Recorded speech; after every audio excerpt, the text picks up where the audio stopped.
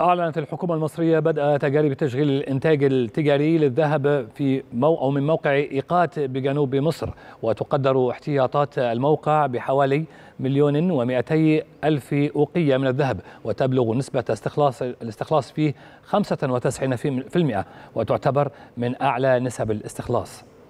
هذا ويعد الموقع استثمارا مصري خالص في مجال التنقيب عن الذهب واستغلاله من خلال شركة شلاتين المصرية التي تشهد شراكة ناجحة وتعاونا مثمرا مع القطاع الخاص المصري.